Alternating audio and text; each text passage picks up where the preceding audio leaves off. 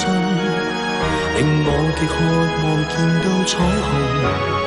仍深信朋友你，情义放松，奔波岁月领略热暖春风。我是深受其害者，我这个家里边过去在日本中都是家破人亡，现在就剩我一个人了。啊，但是这这也为什么？因为这个已经成为历史了，现在应该从不要往后看，往前看。相信这次访问呢，有助于来推进两国防务部门的交流与合作，来增进双方的安全的互信，推进中日战略互惠关系全面的发展。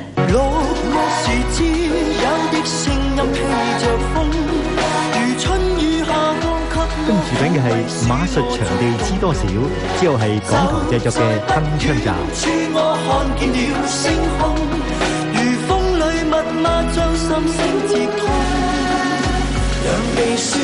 更辛苦的还在后头，因为股市持续低迷，马政府声望直直落。全球都遭遇了困难，台湾也没有万灵丹。我们的行政团队啊，对于这类的问题啊，除了具有专业的判断。跟啊这个执行之外呢，也特别要多了解民众对我们应应方式的感受。换句话说，要考虑到苦民之苦。台下的刘兆玄听了脸色凝重，原本是要话家常的场合，顿时变得不轻松。我希望呢，各部会的首长能够多安排下乡的行程。我跟你保证，你下次在立法院答询，你声音就会比较大。因为你去过基层啊，你了解基层的情况。要隔员皮绷紧，只是自己的螺丝却有点松。先前跟立委参叙时曾表示不鼓励简体字，但这一晚说的不一样。可以在这些观光的文宣后面呢附一个简简单的对照表。刘院长畅游日月潭的时候，也曾经说过一样的见解。马总统换了说辞，让马刘这下不用再被说不同调。TVBS 新闻，欧国强、蔡丰泽、廖芳杰台北报道。马政府动起来，抢就跌了超过一千五百点的台股。下午 TVBS 镜头独家捕捉到，行政院副院长邱正雄和财政部长李树德，以及内定金管会主委陈述，大动作找来大批外资高层到政企会喝咖啡，向外资信心喊话。希望今年卖超八百亿元的外资能够回流挹注台股。外资一个健全的股市，怎么希望说，哎，台湾的股市怎么样去？股市好好，很好。后面很多人，呃，我们 no comment。不出会场，这些外资高层一个比一个低调，却个个大有来头。今年可是联手卖超台股高达八百多亿。为了挽救喋喋不休的台股，行政院紧急找来他们喝咖啡，大打强心针。我外资他们虽然有卖，但那钱没有什么汇出去。国安基金会不会进场？哦，这个我们都都会来这个做全面性的检讨的一部分。信心喊话，财政部、经管会主管全都到了。长达三个小时的咖啡，外资信心真的被稳住了吗？你们有信心吗。有，嗯，我们是觉得说新政府觉得其实真的是很努力在做事啊，哈。那但是在这个呃在全市场暴跌的时候，可能要很快的拿出一些政策方法。会不会打算买超台股力挺新政府？外资保持低调，为了挽回这些外资的心，行政院释出利多善意。他们是建议要多做一些库藏股，那么他们认为库藏股也是国际上的一些正常的做法。行政院打算严拟金融松绑，留住外资，只是遇上国际油价再创每桶一百四十二点九九美元新天价，加上美国股市三大指数持续探底，国际经济环境被看坏的窘境下，台股能不能靠这场咖啡会杀出重围？星期一的台股涨跌成为观察指标。TVB 新闻综合报道。看来马政府上任马上好，这张选举支票真的让行政院长刘兆玄压力很大。这一天，国民党执政后第一次的县市首长协调汇报上，刘兆玄主动说出要把“马上好”修正为“马上渐渐好”。第一次参加国民党县市长协调汇报，行政院长刘兆玄特别挑了件蓝色的衬衫，一开口忍不住先为内阁到目前为止的表现还价。一个月来备受“马上好”这三个字的压力啊！我说这是其实这个“马上好”当时竞选的时候一句很好的一个一个一个这个这个口号，我们稍微加两个字，因为现在选举已经选完了，是“马上渐渐好”。马上好是制胜口号，却也成为最严苛的监督标准。刘兆玄为内阁团队求饶，更把握着难得机会，把副会首长都带来，跟县市长们把干净。当这个主席提到这这还有县长要在新竹来办这个会的时候啊，我我觉得这个时间点非常的好，所以我特别请我们的部长们还有秘书长一定要全程来参加，我们来从这里当一个新的开始。把身段放得很软。回顾上任满十天，当时的刘兆玄态度可不一样。我以道歉起开头，这个你将来会以掌声结束。谢谢你。信誓旦旦要以掌声收场，但眼见民调下滑，股市重挫，刘院长只得赶紧信心喊话。国内的基本经济经济的这个呃整体来看的话，应该还是属于良好面呐，比较应该有大家应该有一些信心呐。口号做不到就成了空头支票。刘院长把标准从马上好下修到马上渐渐好。如果慢慢来也做不好，就再没有退路了。TVBS 新闻正光拿廖芳杰台北报道。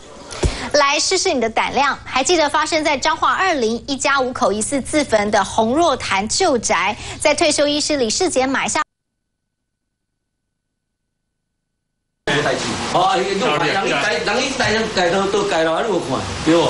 这时，旁边正进行污水下水道工程的工人，好心用绳索绑住货车，再用堆高机将货车吊高，脱离坑洞。没想到绳索还没解，货车突然往前开，堆高机一倒，压死旁边的赖姓工人。还没解开来，他一开走，我们那个车就被被拉倒了。拉倒，我们工人就压死了。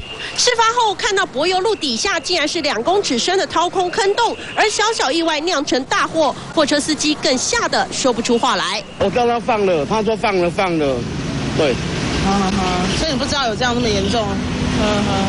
货车司机虽然也是路面坑洞的受害者，不过工人好心却送命，警方将货车司机以业务过失罪移送法办。TVB 综合报道。提醒您，长病毒疫情持续攀升，一直到星期六为止，全台累计一共有两百六十七例长病毒重症，而台北县也开始规定，五岁以下幼童不能进入游乐场。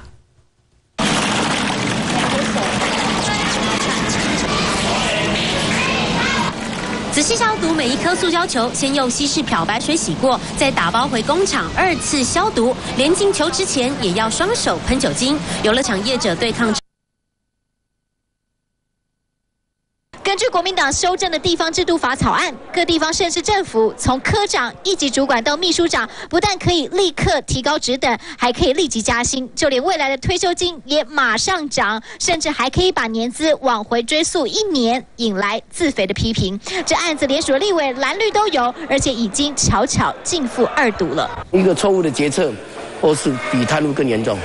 所以应该是能够先让公务员的心稳定下来，不算自费就对了，不能一直拿裁员啊这个拮据呃来做挡箭牌，这个绝对没有什么自费，做多少工作领多少钱。薪水好久没涨，有人大方力挺，但是景气有够差，股市又跌不停，这时候帮公务员调高职等加薪水，有人猛摇头。是否应该追溯？这个就任何的法理上是不应该的。看我们的国家的财政能力了，其他行业会不会跟着呃造成一个更呃这个？其他的问题出来也要做整体的评估了。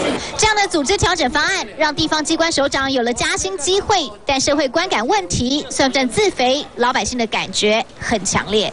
TVB 新闻郑光达、李国正、林炳仪台北报道。马总统上任后，过去两次下乡都住在军营。不过，总统对于他在选前对当选后继续住民宅的承诺相当在意。TVB 掌握的消息，对下乡住宿，马总统已经指示不住饭店。第一顺位就是住民宅，不过维安人数太多，要住民宅真的不容易。幕僚目前规划要在屏东南投二选一。他把房间让给我去，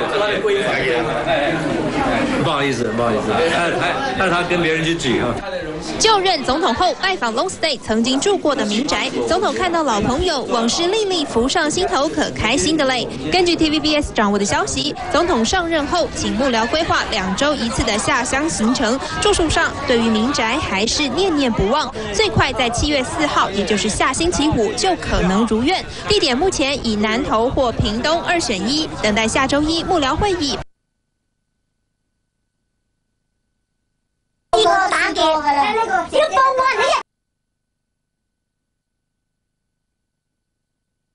还是在落实，呃，非常危险。啊，我们现在村庄里面呢是车子都没有办法通过啊。嗯，现在啊，我们村庄里面还有两三百个人在村庄里面。要回家看老人家。对，嗯，那现在他们过不去啊？过不去啊，只好走回去了。